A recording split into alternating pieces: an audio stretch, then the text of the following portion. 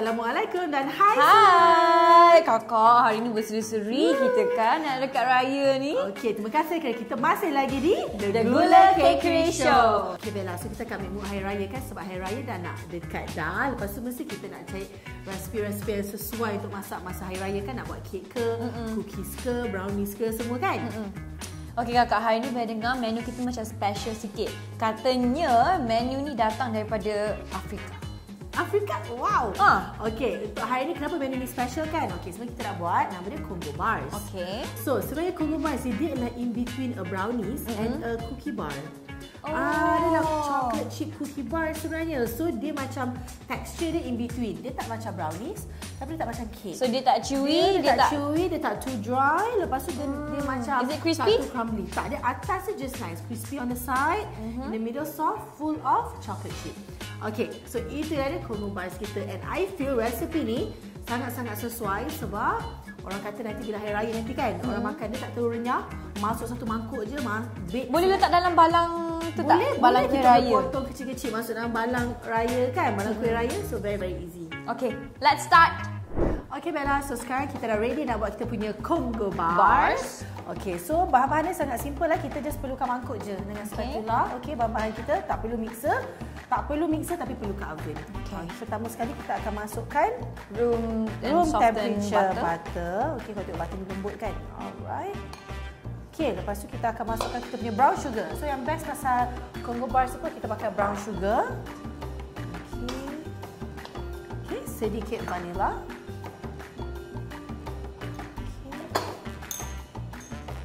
Lepas tu kita akan mix-mixkan dia. Wah, mix-mixkan dia. So, fold, fold, fold, ah, fold. fold, fold. Sebab tu butter kita kena soft tau. Sebab kalau tak soft nanti susah nak dia apa? Dia nak nanti dia ketul-ketul. Ah, nanti dia ketul-ketul. Okey, so kita continue mixing macam ni. Kita akan masukkan telur tapi satu demi satu. Okey, so Bella boleh tolong kat ni. Masukkan satu telur.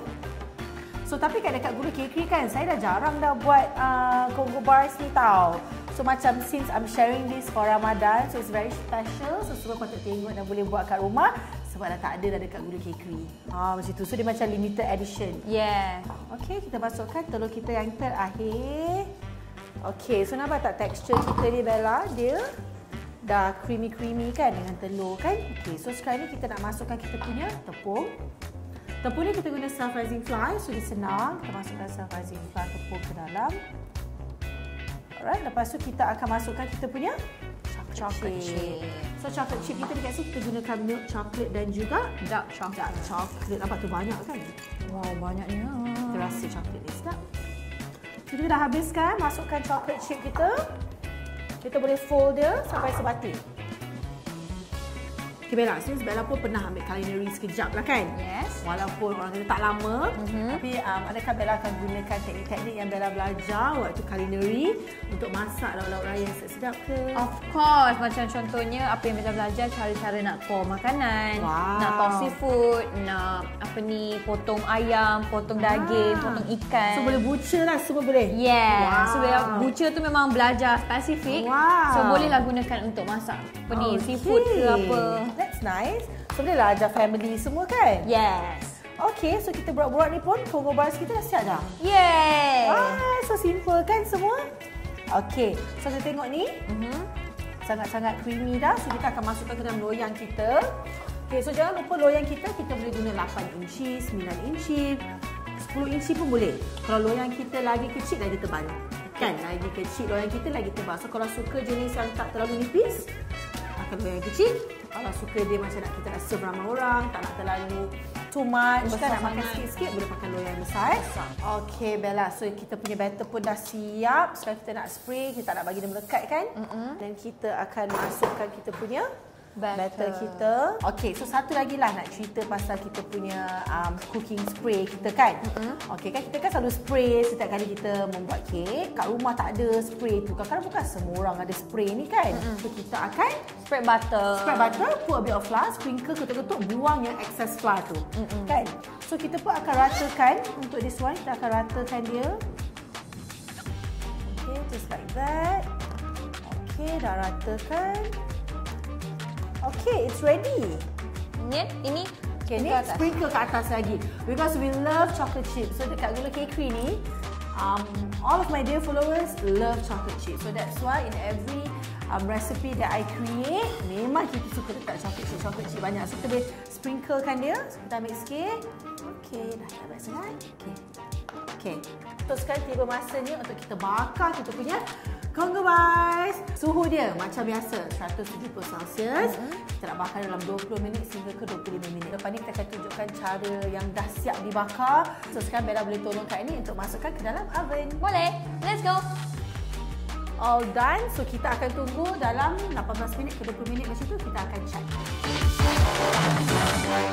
Okey Bella, bunyi oven kita pun dah ting. So now tiba masanya untuk kita keluarkan kita punya Congo Bar. So Bella boleh tolong Kak ini keluarkan.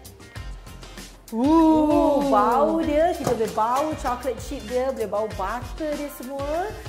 Wow. Looks really really nice.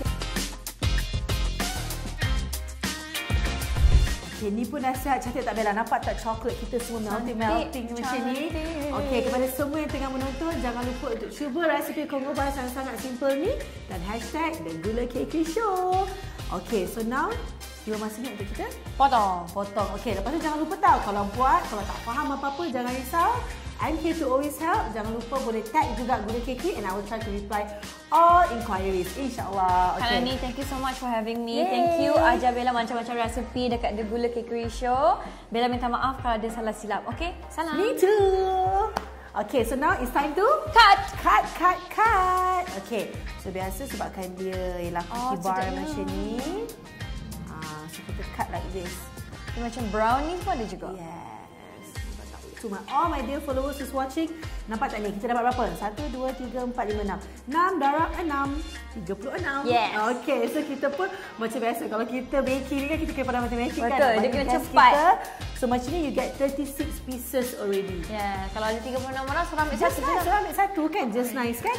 Okay, so it's time to rasa. Jom. Alright, can so I'll take the middle. yeah. Okay. Jom kita rasa. Bismillahirrahmanirrahim. Hmm. Hmm. Penuh dengan chocolate chip. Dah dia macam kek. Kan dia cake, tapi dia bars, tapi dia chocolate chip, tapi dia memang sedap. Okay, so unexplainable. So I hope semua orang akan buat resepi ni. Okay, semua mesti dengan telur kan tengok ni. So, memang sedap sangat, sedap. Okay, so ini saja resepi daripada kita pada hari ini. So jangan lupa kita akan ada resepi lain esok. Satu resepi Satu hari. di The Gula Cakery Show.